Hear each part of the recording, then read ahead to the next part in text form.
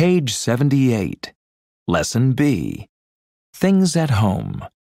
1. Building vocabulary. A. Listen and say the words. What else do you see in each picture? Make a list. Living room. lamp, end table, cushions, armchair, coffee table, rug, sofa, Kitchen. microwave, cabinets,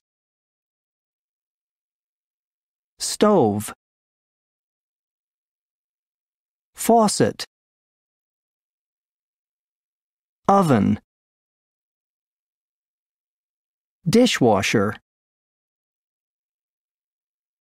Bedroom. clock, curtains, Nightstand. carpet, dresser, Bathroom. mirror, shower, sink, toilet, bathtub.